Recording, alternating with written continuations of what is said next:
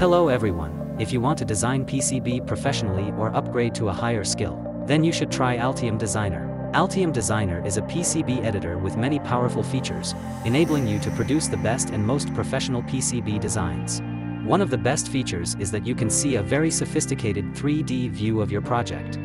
Here you can also connect Altium Designers with Octopart to find the various components you need. Octopart provides you with the latest spare parts data such as specifications, datasheets, CAD models and more. To use Altium Designer, you can start with a free trial. Click the link in the video description to try it out. To print the designs that have been made, I use the services of JLCPCB. To save time and make work easier, you can use the SMT assembly service at JLC PCB. Here you will get a PCB along with good quality components that are already installed. Following are the steps of using SMT assembly service in JLC PCB.